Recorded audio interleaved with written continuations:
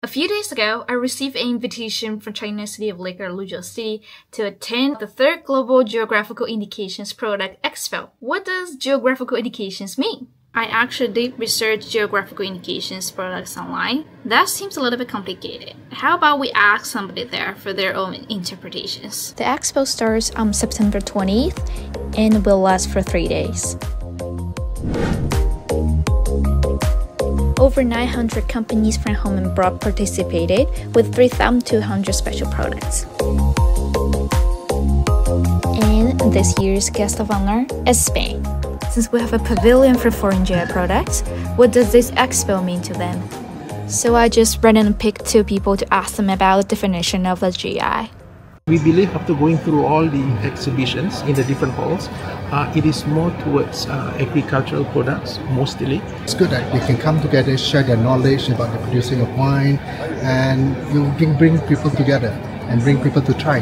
If you want to choose one geographical indication products from mm. Luzhou, oh. Sichuan, that would be the white wine? Or I think the white wine, yes. The white wine, yeah, definitely. Yeah, definitely the white wine, yes. And how about these people looking more Spanish? Well, Mr. Pino is the right person to answer that. Oh, oh. okay. This is a very, very simple thing. Uh, a geographical indication is when you have a product that is defined by the characteristics characteristics of a certain area, certain region, certain zone. That includes the soil conditions, so the composition of the soil, the climate, and also very important that you have to remember is that it also influences this uh, the way the product is produced. Last night we had a taste of some of the liquors. Uh, Baijiu. Baijiu. Baijiu. Baijiu, very good. Uh, I like it. Yeah. You like it? yes. We're very interested in inaugurating this pavilion and then hoping that this produces something that engages into further it has a follow-up. So maybe next year you guys will also come. Maybe, yeah. Yeah. I will see you they guys will, next they year. will be. Okay. members with a greater number of recognized geographical indications, 372.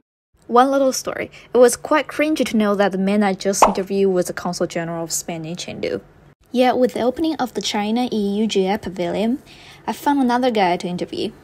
Your first time being here? No, I've been here since the first, and I am very glad to see how it develops. In the future, I expect to see more and more products in this pavilion who are the superpower uh, in culture. China is also a superpower in economy, but as a superpower in culture, all the EU and uh, especially some of the EU uh, founding members, we should use it again as a great, great, great tool and bridge for our cooperation. Just like they said, the expo serves as a bridge connecting different countries. The GI products are the culture carriers.